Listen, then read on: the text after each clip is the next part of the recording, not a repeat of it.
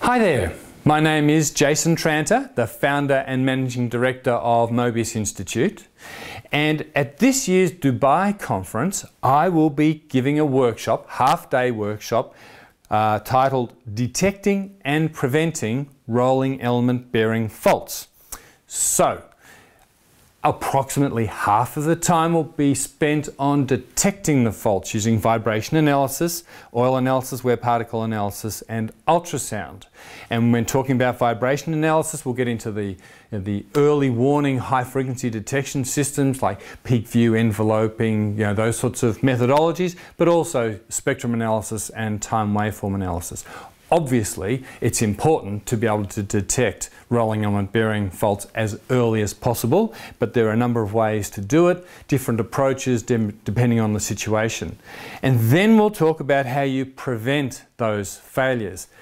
As vibration analysts and condition monitoring and reliability improvement professionals, Yes, it's our job to detect the faults, but we need to be able to prevent them. We need to find out why they're failing, either through our data or just by looking at our uh, maintenance practices and so on, and then prevent them from failing so we don't detect as many faults and we don't have suffer the downtime and the costs and everything else. So we'll be talking about you know, why do bearings fail? And we'll be looking at different areas like installation practices, uh, lubrication, contamination control, and overloading the bearings.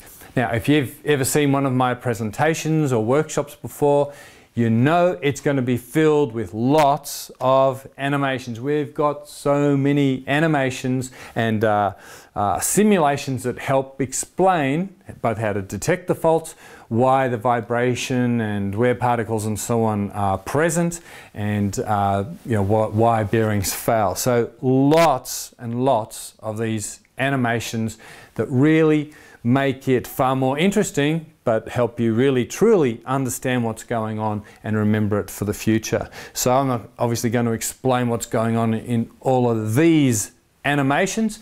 That's what the workshop's for, but as you can see this one's you know, starting to crack uh, beneath the surface and uh, a bit of failure there. Uh, we talk about unbalance and misalignment and other reasons why bearings fail.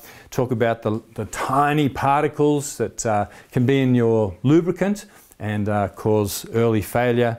Um, we can look at how you can study the bearings and um, detect what's going on or and then prevent corrosion in the first place in that case. We'll talk about false Brinelling, uh, the fact that a machine that's in standby can be pounded away and um, you know, just with that vibration all day long and cause false Brinelling, so certain pattern on the bearing there.